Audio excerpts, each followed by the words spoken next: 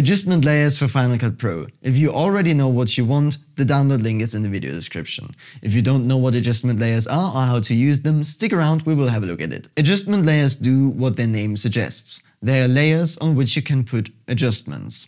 But why would you want to do that? Imagine you're working on a timeline and you have a LUT or a final grade you want to apply to all of your clips. You could apply it to one of them and copy and paste it to the others.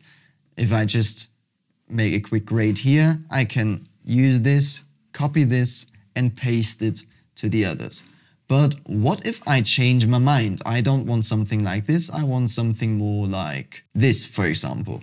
Then I would need to remove the attributes there, then I have to copy this again and paste it on here. This is a major hassle. That's where adjustment layers come into play. So let me remove the grade from all of the clips, like so, and apply the adjustment layer. Now I just have to drag it above all of the clips I wanted to affect, like so. Now I just can grade it here, like this. Okay, and now all of the clips underneath are affected. And if I change my mind, I can always make a change and all of the clips are affected as well. Stacking adjustment layers is also possible. If you stack them, wouldn't it be nice to color code them?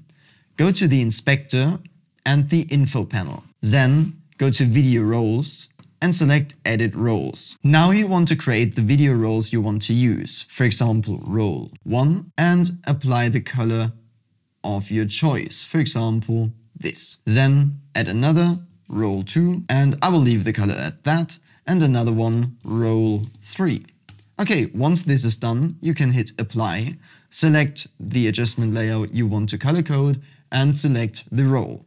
Role 3, for example, codes this green, role 2 codes this red, and role 1 will code this in orange. By the way, roles are a great organizational feature for the timeline, and you should look deeper into this, so get subscribed, I will make a video on this one. Speaking of organizational features, if you want to rename your adjustment layer, just right click and rename it, or select it go to the inspector and enter a custom name there. If you haven't already, feel free to download the adjustment layers. The link is in the video description.